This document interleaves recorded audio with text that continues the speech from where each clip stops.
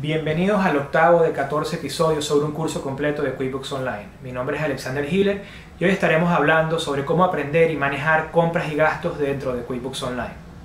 Ok, el área de compras se encuentra aquí debajo de Expenses.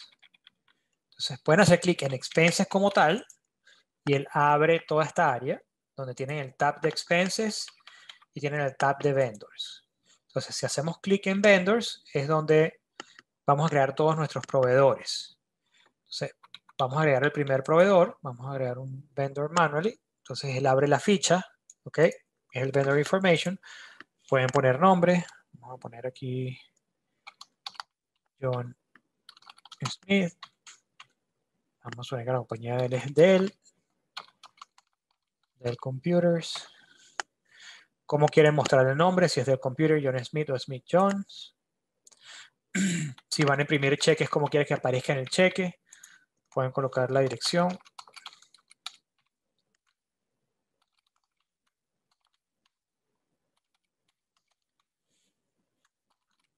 Pueden colocar cualquier nota. Pueden agregar o adjuntar documentos. Si tienen un contrato de compra-venta o algo así, pueden, pueden ajustar, pueden agregarlo aquí. Tienen un máximo de 20 megabytes agreguen los emails, es importante. John at computers.com.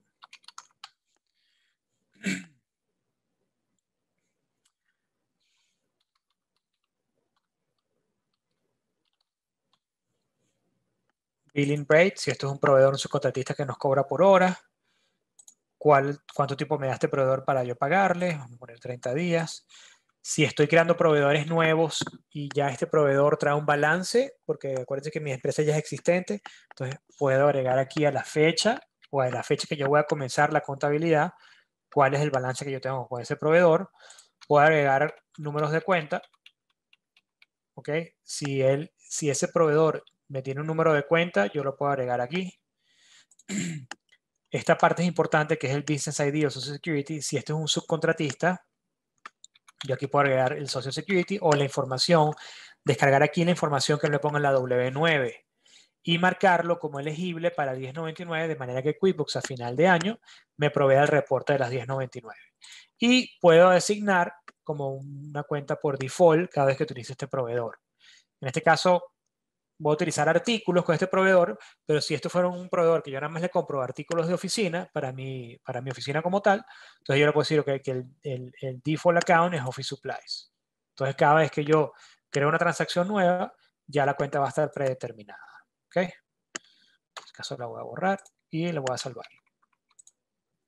Entonces ya él abre lo que es mi Vendor Center, que es la lista de todos mis proveedores que yo tengo creados. En este caso es uno solo que tengo creado. Si quiero crear otro proveedor, igual que artículos, igual que plan de cuentas, arriba a mano derecha, New Vendor.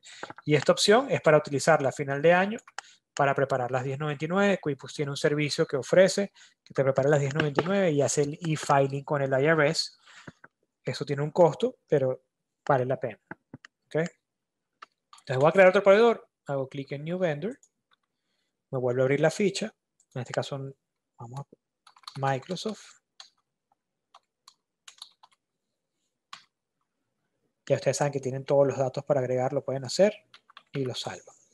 Entonces ya ahora tengo dos proveedores. Tengo Dell y tengo Microsoft. y así va. Esta barrita, que es como el billing, vamos a llamarlo eh, los estatus, ¿okay? ustedes pueden filtrar. Si más adelante ustedes quieren ver nada más lo que está overdue, hacen clic en overdue y él se filtra por overdue, los que tienen open bills, los que tienen open POs o los que han sido pagados en los últimos 30 días. Si van al tab de expenses, eso les va a mostrar cuántos, todos los gastos que se han registrado eh, eh, en, la historia, pues, ¿ok? Entonces, esa es la manera de crear proveedores nuevos. Luego de crear proveedores nuevos, si vamos aquí un momento al overview, perdón, al dashboard.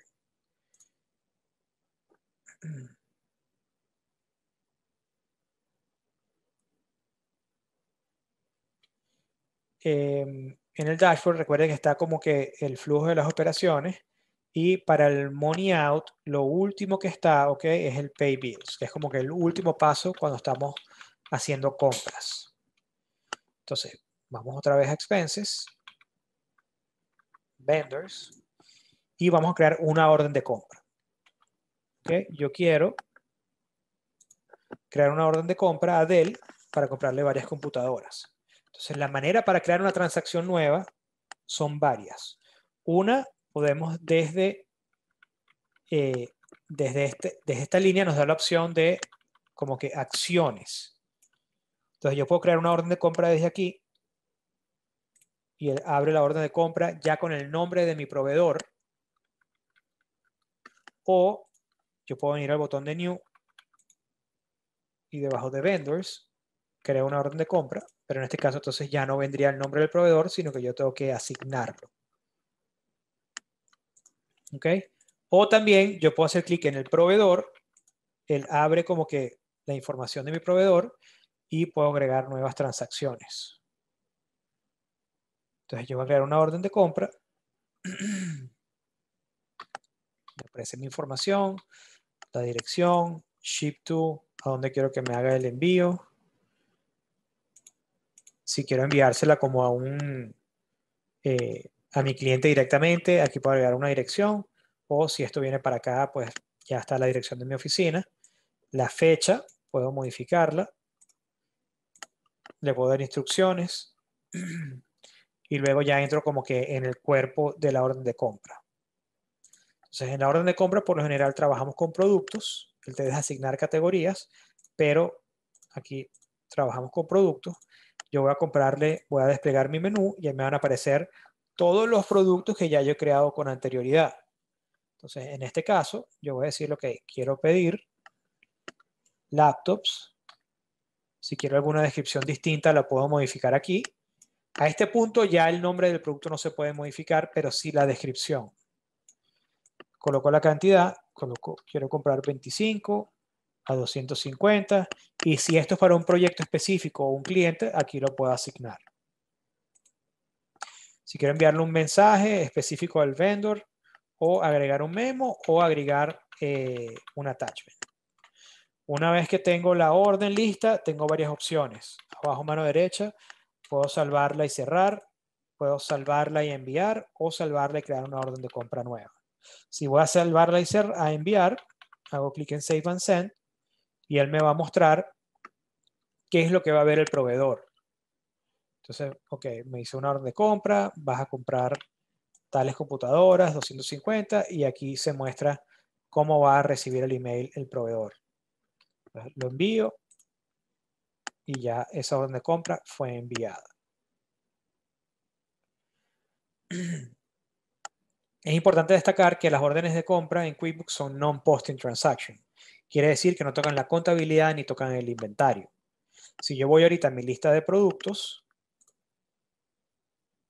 aquí debajo de ventas, voy a mi lista de productos, puedo ver que igual del laptop aún tengo cero. Tengo nada, no tengo nada en mi stock. ¿Por qué? Porque lo que hice fue una orden de compra y es non-posting.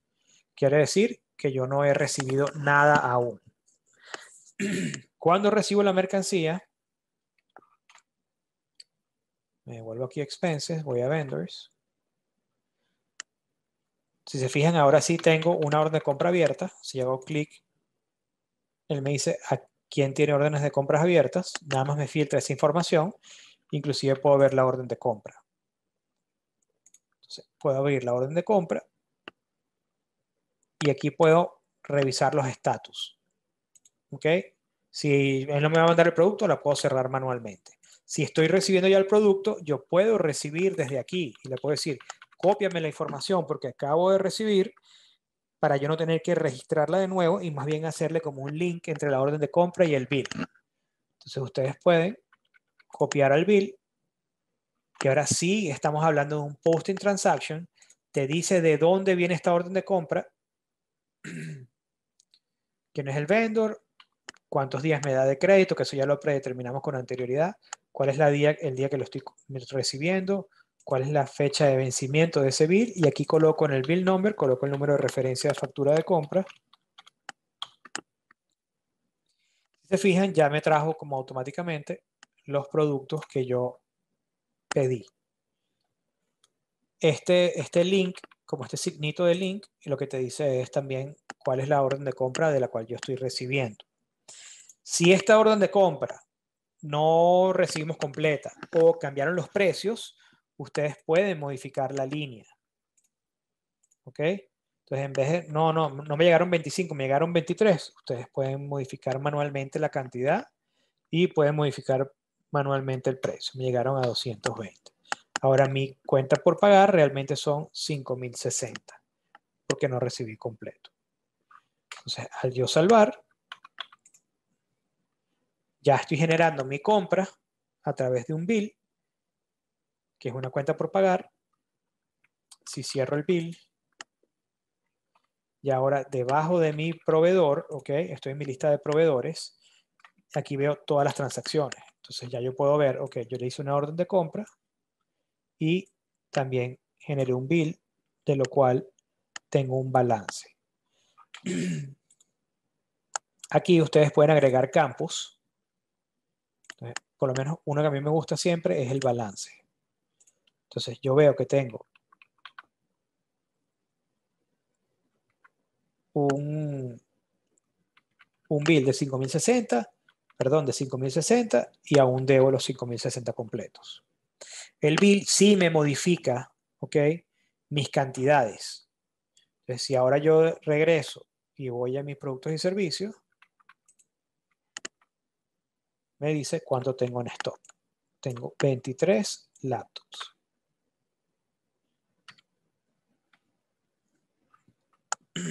Aparte, si de nuevo regreso a mis vendors, a mi vendor center,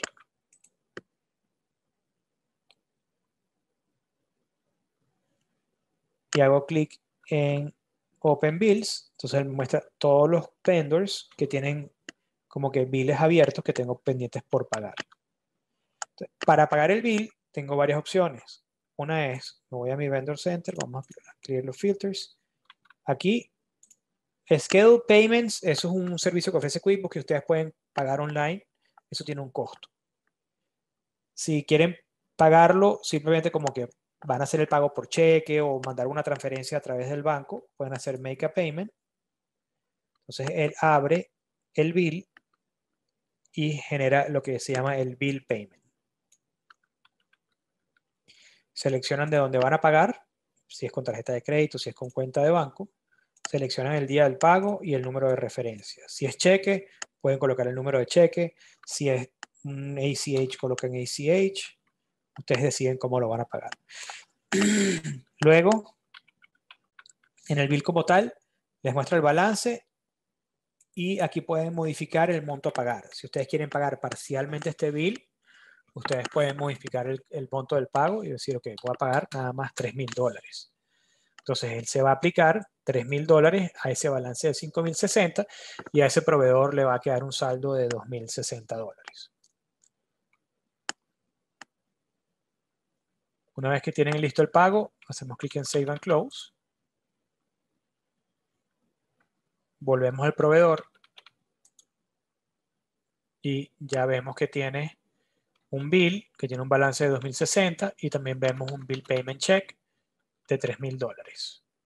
Entonces, cuando ustedes quieran buscar transacciones relacionadas con proveedores, la mejor opción es que venga al Vendor Center. Cuando venga al Vendor Center, eligen el proveedor que tienen dudas o que están buscando una transacción. Y aquí abajo les van a aparecer todas las transacciones relacionadas con ese proveedor. Desde aquí ustedes pueden filtrar y decir, ok, no me muestres todas las transacciones porque realmente esto en un momento va a tener demasiadas transacciones y ustedes realmente quieren filtrar para ver transacciones específicas. Ah, bueno, no, nada más muéstrame los Open Bills. Entonces, ustedes pueden aplicar que nada más les muestre los Open Bills. Entonces, ustedes van filtrando la información que quieren ver debajo de cada vendor. Si quieren volver como que resetear los filtros, hacen Clear Filters y él ya como que muestra todas las transacciones otra vez. Esto lo pueden organizar por tipo, por número, por PI, por categoría, como por balance, como ustedes quieran.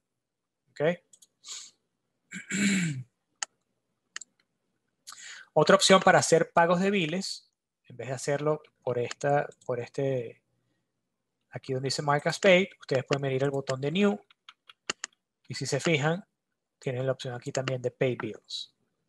Entonces, si yo quiero pagar un bill, voy a Pay Bills y aquí me van a aparecer todos los billes que yo tenga abiertos. En este caso, nada más tengo a, a, Computers. Y si lo quiero pagar, elijo la cuenta de banco donde voy a pagar. Vamos a suponer que esta voy a pagar con tarjeta de crédito. Coloco la fecha. Elijo el bill que voy a pagar. Si es un pago parcial, modifico el monto. O si voy a pagar por completo, coloco ya el monto que estoy pagando por completo.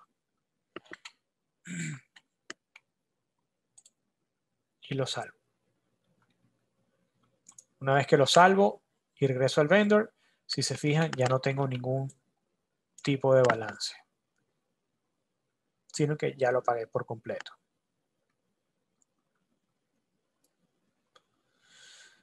Las maneras para registrar gastos o compras en QuickBooks son tres. ¿Ok? Si vamos al botón de New, aquí está el orden. Expenses. Entonces, expenses es para registro de gastos o compra que salen al momento de la cuenta de banco o tarjeta de crédito. Los cheques, como lo dice, es para hacer registros de compras o gastos que se pagan a través de cheques. Los bills son para registros de gastos o compras que se pagan a futuro. El bill lo que maneja, eh, el bill lo que maneja son cuentas por pagar. Y luego, por último, tenemos pay bills, que es para pagar cuando se genera un bill. ¿ok? Porque esto va de la mano con el bill.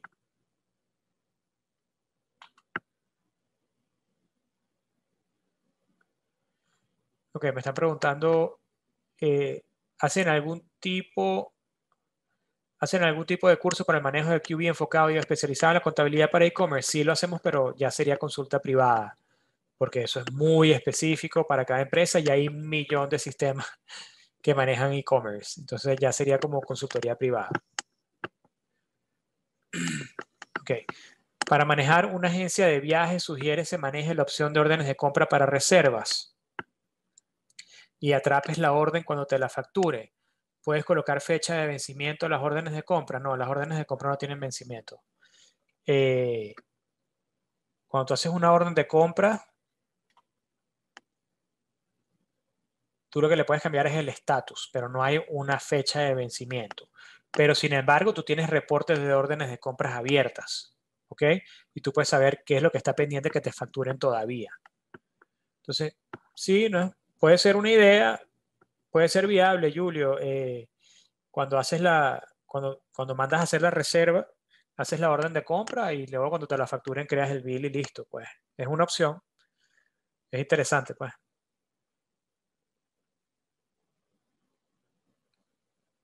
¿Qué pasa si no recibí todo lo que ordené?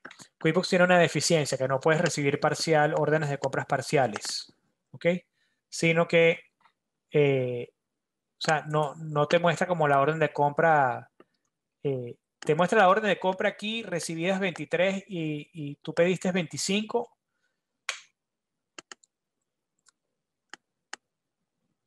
Pero la, la tienes que en ciertos momentos cerrarlas tú manualmente, ¿ok? Pero sí te dice aquí cuántas recibiste y cuántas pediste originalmente.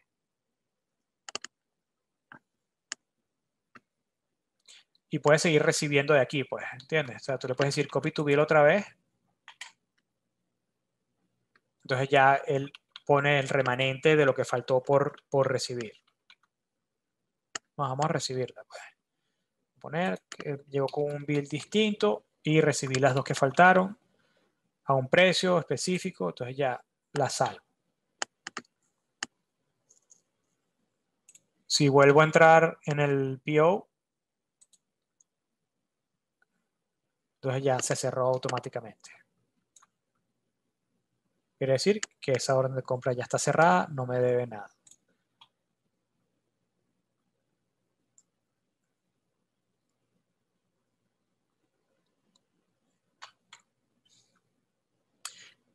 ¿Qué? Ya va. Y creo que no sé si te expliqué bien, pero ¿qué pasa si no recibí todo lo que ordené? Es lo que hicimos en, la primera, en el primer bill.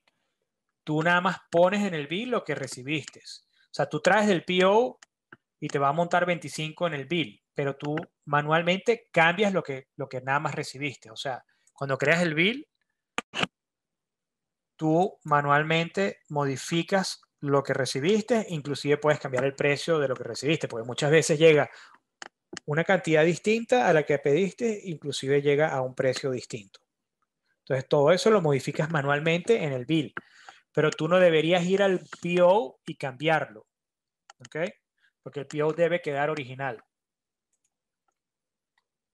Si ya, el, vamos a suponer, tú pediste 25 y el proveedor nada más te manda 23 y ya te dice que el producto está descontinuado, no es que vas a ir al PO y lo pones en 23, no, siempre debería quedar como que el historial de qué fue lo que sucedió.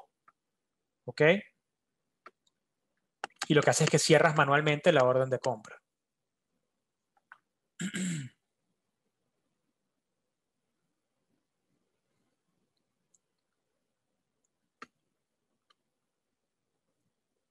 Ok.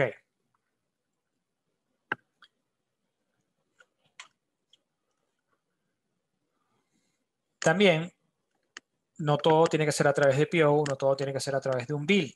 Si muchas veces, vamos a suponer, yo fui y compré algo directamente eh, y ya lo pagué, ¿ok?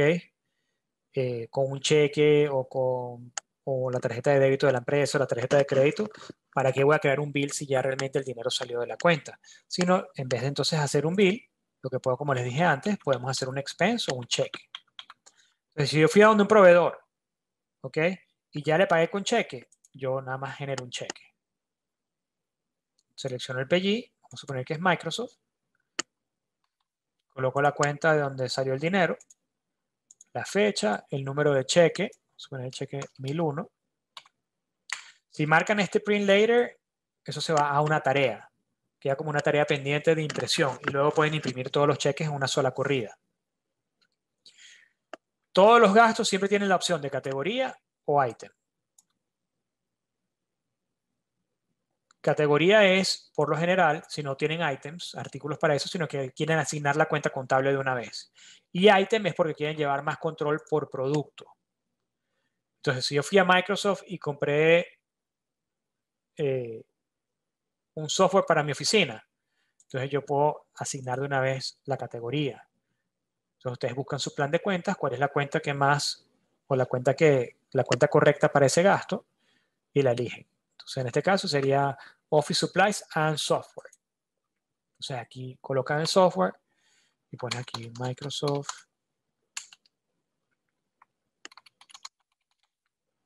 Office para asistente.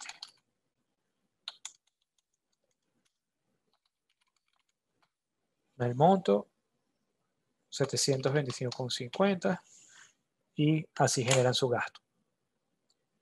Si compraron un producto, pues lo colocan aquí en el área de productos aquí abajo.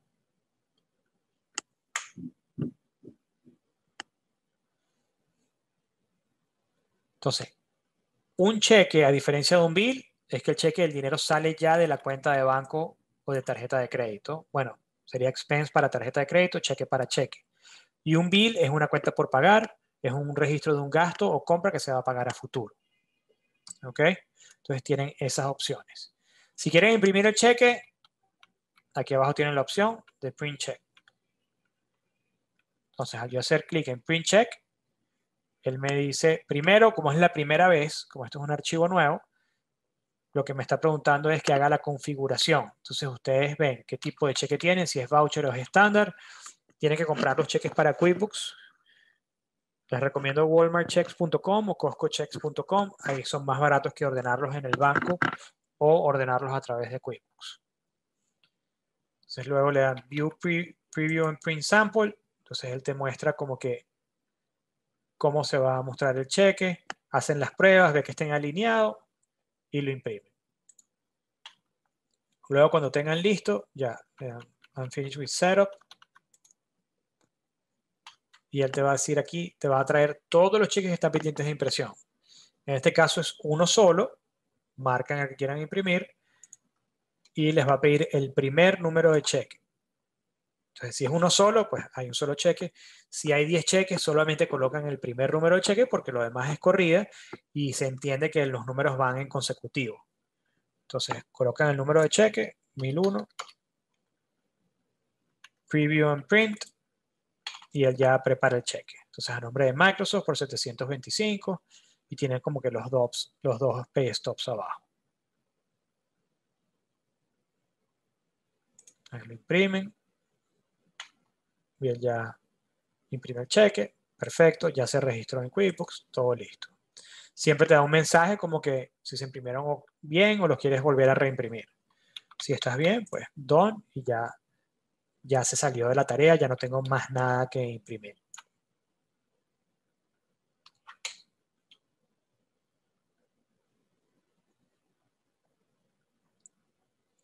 Ok, ¿cómo, ¿cómo cierro manual el PO? No escuché que lo mencionaste, ¿podrías decirlo? Sí. Primero, para buscar una transacción, ok, para buscar una transacción de un proveedor, de un vendor, voy al Vendor Center. Entonces, es decir, coño, este, este, este PO no lo voy a recibir, ya el producto se descontinuó, no lo quiero tener abierto, quiero cerrarlo. Ah, bueno, entonces lo primero que hago es voy al Vendor Center. Esa es la manera que yo lo hago. Después del Vendor Center, busco mi proveedor. Y aquí busco la transacción. Entonces, ah, tengo el PO, abro el PO y aquí es donde se cierra manualmente. ¿Ok?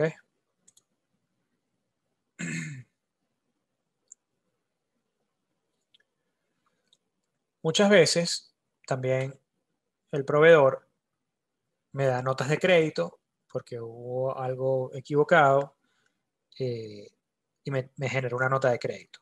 Entonces, para hacer notas de crédito pueden venir a Vendors, y que tienen una opción que se llama Vendor Credit, o dentro del mismo vendor, en New Transaction, tienen el Vendor Credit. Entonces, al hacer clic en Vendor Credit, es lo mismo que un bill, pero es como en reversa. Entonces él me dice, ok, ¿por qué me estás dando el crédito? Entonces puede ser que yo le devolví mercancía. Entonces si yo le devolví mercancía, yo lo puedo poner aquí en los item details, lo que yo le devolví. Ah, bueno, le devolví un laptop porque vino defectuoso. Y él me va a devolver los 250 dólares. Y esto automáticamente me actualiza mis inventarios también. Y me genera un crédito. Si se fijan, actualmente yo le debo 500 a este proveedor al yo salvar este, este vendor credit, ahora ya nada más le debo 250. ¿Por qué? Porque tengo un vendor credit y un bill. esa es la manera de generar notas de créditos a proveedores. Dice que tiene balance. ¿Por qué dice que tiene balance? Porque no lo he aplicado. Entonces, si yo voy de nuevo y trato de pagar este bill, ¿ok? Y le digo, bueno, voy a marcarlo como pagado. tengo ya el balance original y tengo los créditos aquí abajo. Entonces aquí tú eliges qué quieres aplicar y si quieres aplicar, algo parcial, puedes cambiar el monto y modificar el monto para hacer el, la aplicación parcial del crédito. Y si tienes varios biles abiertos que te aparezcan aquí, tú eliges y marcas a cuál bill, ¿ok? A cuál bill tú quieres aplicar ese crédito. Ahí es donde yo les dije que la opción esa que está en las configuraciones, que dice eh, aplicar eh, créditos automáticamente, a mí no me gusta mucho porque yo prefiero yo aplicar esos créditos a las facturas que yo quiera, no siempre es a las facturas más viejas o algo así. O sea, hay que tener cuidado con eso.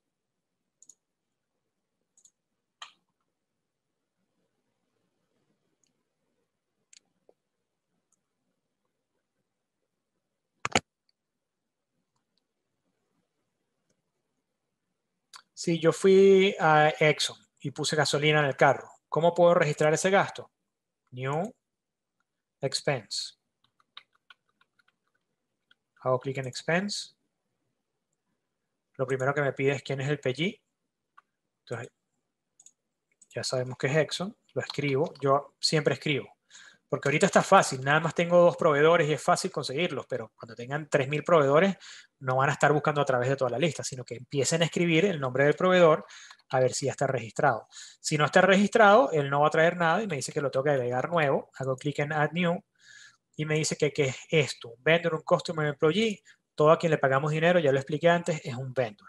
Si quieren agregar los detalles completos, abren en el área de details y es como que les abre todas las opciones. Si no quieren agregar los detalles, simplemente lo agregan y le dan salvar. Él ya crea el vendor. Luego me pregunta de dónde pagué. Vamos a suponer que pagué con la tarjeta de débito de la cuenta de banco. Payment Method pueden elegir o pueden agregar nuevos métodos. Y el número de referencia pueden colocar el número de factura o el número de recibo. Luego, debajo de categoría es donde asignan la categoría contable.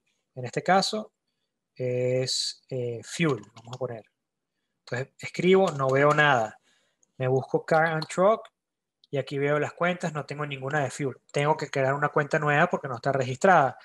No voy a ir al plan de cuentas, agregarla y todo eso, sino que siempre los menús desplegables en QuickBooks arriba, ¿ok? Tienen la opción para agregar cuentas nuevas. Entonces, hago clic en Add New, elijo el tipo de cuenta, Expenses, elijo el tipo de detalle, en este caso es Auto, y creo Fuel como subcuenta, ok, que esto ya lo vimos, de Car and Truck. Salgo y cierro. pongo el monto. 67.50, porque la gasolina ahorita está cara. entonces elijo la cuenta contable, coloco el monto y lo salvo. Ya eso registra mi gasto.